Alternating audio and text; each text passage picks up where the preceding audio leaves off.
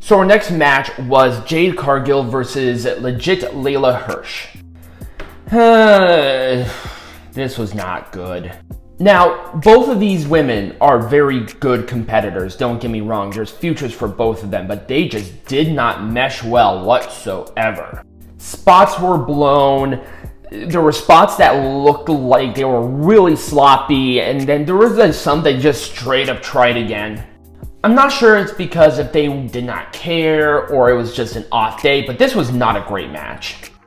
But Jade Cargill won with the jaded moves, and you know, it's whatever. I'm sorry, I, I just don't know what else to say about this. It was just lame, it was sloppy, it was uncoordinated, and these two were really, really good. So this was just a really bad night. Thumbs down.